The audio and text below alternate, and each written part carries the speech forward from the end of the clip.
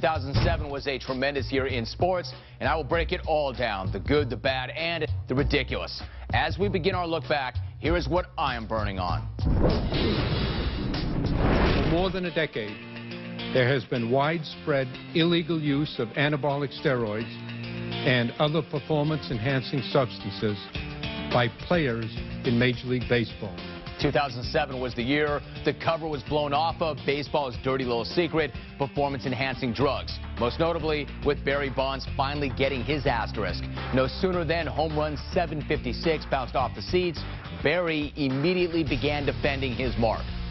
This record is not tainted at all. At all. Period. And you guys can say whatever you want. Not tainted at all.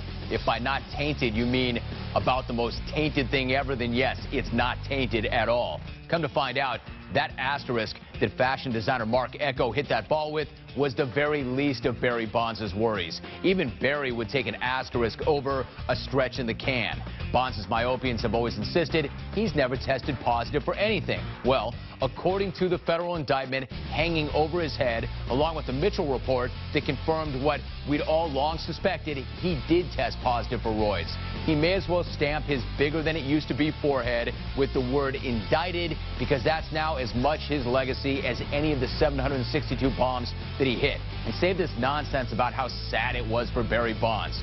Pathetic, perhaps, but not sad. Pathetic that the guy was already headed straight to the Hall of Fame and it still wasn't good enough. Pathetic that the guy was already one of the greatest players in the history of the game, but apparently was so jealous of Mark McGwire and Sammy Sosa that he started to load up on beef roids to the point where his head grew big enough that he might float right out of the batter's box and right into a hot air balloon race. And while the Mitchell report demonstrated that Bonds was not the only guy doing drugs, if he was, he's still the most important one. He made his steroid-riddled bed, and now he has to lay down in that bed full of syringes and just deal with it. That's not sad. That's appropriate. I want to apologize to all the young kids out there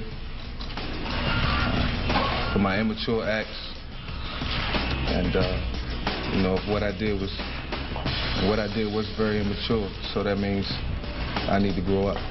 Never has an athlete fallen farther, faster than Michael Vick, who was sentenced to 23 months in federal prison for running a dogfighting ring. Michael Vick might be fast, but he's not fast enough to outrun the feds or his own stupidity. I mean, exactly what was he thinking? Admittedly, I haven't gotten up and crawled, crawled around in too many dogfighters' heads, but exactly what did he get out of this? He got sent to the big house, his reputation is shot, and for what?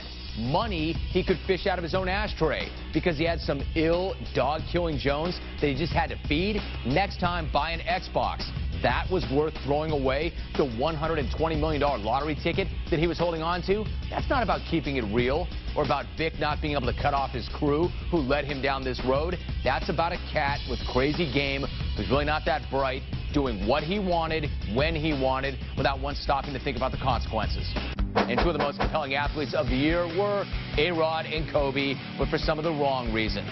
Alex's season in the Bronx was a year-long circus, from shouting at that pop-up in Toronto to his wife rocking an F-bomb T-shirt, but it all paled in comparison to A-Rod and his agent Scott Boras opting out during the last game of the World Series before A-Rod negotiated with his super agent or without him and headed back to the Yankees for somewhere in the neighborhood of 10 years and 280 million bucks.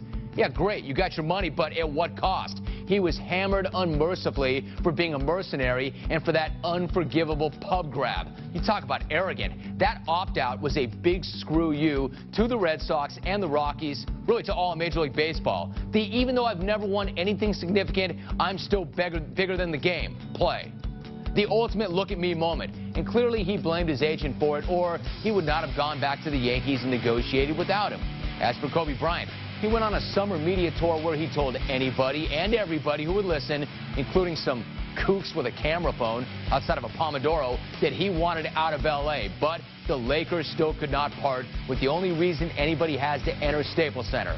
With him, the Lakers still matter. Without him, they're the Atlanta Hawks, or even worse, the Knicks.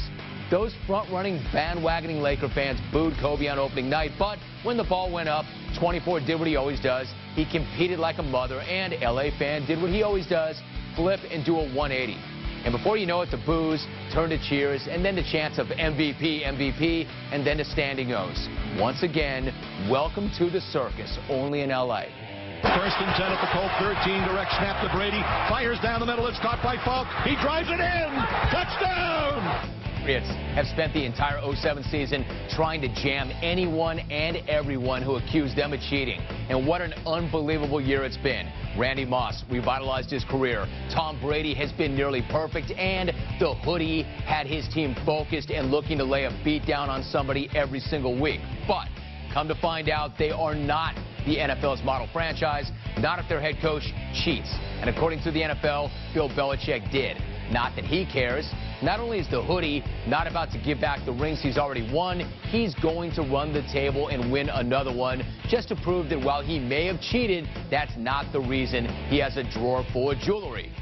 Spygate was a black eye for the NFL, but referee Tim Donaghy allegedly gambling on games that he worked was rock bottom for the NBA. Not that Commissioner David Stern could have done anything to prevent it. I think I'm going to come back to the fact that I'm going to wait for this investigation to run its course because we think we have here a rogue, isolated criminal. Well, if the right safeguards were in place and there's nothing wrong with the system and you were still the very last one to know, how do you know it's an isolated case and that it won't happen again? The answer is you don't. Fans always wonder if the Zebras are on the take, and now they may have finally found one that was. David Stern better hope that Donaghy was just one rogue, isolated criminal, because once the public's trust has been violated, it is nearly impossible to get back.